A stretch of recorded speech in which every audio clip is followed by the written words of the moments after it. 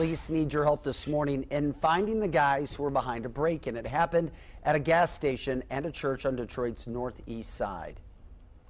7 Action News reporter Nima Shafe is joining us live this morning as well. New surveillance video he has of men who want to talk to police, or police want to talk to them. Nima?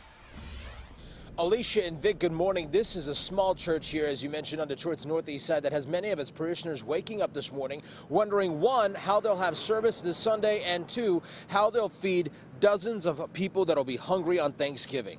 Take a look at this new surveillance video into the 7 Action newsroom, and while it's hard to get a good description of the suspects, our purpose in showing you this video is to show you just how brazen these men were. This surveillance video taken from a nearby gas station showing the bandits rummaging through tires and scrap metal before moving to the church.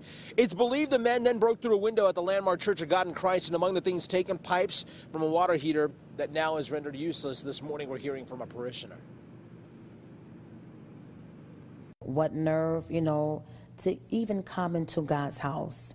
Because, like I mentioned, we are a giving church. We give to the community, whatever God has blessed us, we give it back. And at the trouble of having to repair a window and now having to render a water heater useless and fix that, the break-in comes at a time when parishioners here, about 50 of them in this small church, are mourning the loss of their pastor.